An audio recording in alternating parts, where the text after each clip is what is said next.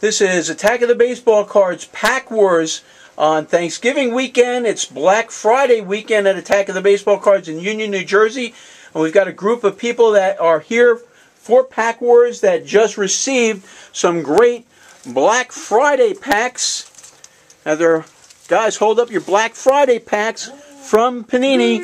And if you guys want to open up your packs, we'll take a look and see what you got in your Black Friday packs. This is a special that we're doing from Panini. Black Friday was yesterday. Tim Tebow. Tim Tebow. We got a Tim Tebow card over here. Doug Martin.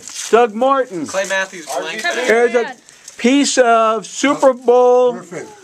Piece of Super Bowl pylon. What player is that?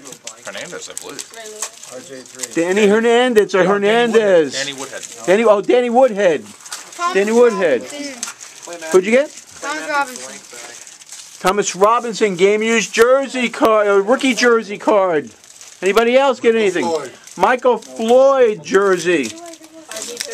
RG3 rookie. There we go. Melvin Ingram. Who's, who's that? Melvin Ingram. Melvin Ingram. Jersey, rookie jersey. RG3. RG3 rookie. Anybody else? Who's that? Kyrie Irving. Kyrie.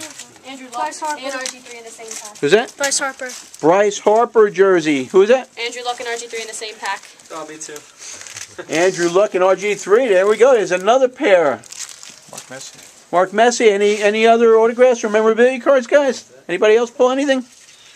Josh Hamilton. Josh Hamilton. What's that memorabilia card right there? You just skimmed over. That's the one you saw. Thomas Robinson. Thomas Robinson. Anyone else? Thank you, Panini. Thank you, Panini. Thank you, Panini. Bryce Harper. Bryce Harper. There we go. Bryce Harper. Let me see your Bryce Harper. Justin Black. Any other memorabilia autograph cards? Quinton Coples. Quinton Coples autograph right there.